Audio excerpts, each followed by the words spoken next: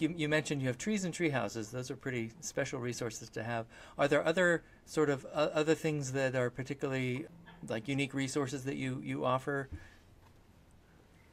I think the craft the craft space, the craft room would, would be quite unique in the sense that all of the tools are accessible to the kids, right mm. from drills to saws to nails to mm. scissors to knives to hot glue guns to candle candle wax to pottery wheels. Making it sound very dangerous at the moment. and it's all, like I mean, they, it's obviously not a free for all, but but you know the kids are all given access to that under supervision yeah. and are taught how to use those those individual tools appropriately so that you know we're ensuring their safety and and again it's a bit like the treehouse that you know, as children grow and develop in their level of understanding and maturity, that, you know, their experience with how to use the various different things appropriately is, you know, they're given more license mm. and opportunity for that.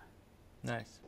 So, in terms of other resources, I mean, we do have a huge resource with our art craft teacher as well. So, most years we would have a huge project that the whole school get to work on. So, for example, this year um, we had what what was called Film Week, and the children did all parts of that. So every year there's some sort of creative project that happens. A couple of years ago we did Build Week, and that's where we came up with a lot of the cubby houses and tree houses. Mm. This year was Film Week, and we are just about to roll out our, our premiere of our film in a couple of weeks. That was completely done and acted out by the children scripts were written.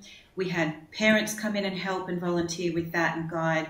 And it was a huge, big community project. So I think that's a really amazing resource that we draw from at Currambena um, that, that sets us aside from many because it, that that seems to be a memory from for many children in years to come, mm-hmm. and in and from past classes they often talk about those big big community projects that they've participated in and the learning that comes out of that.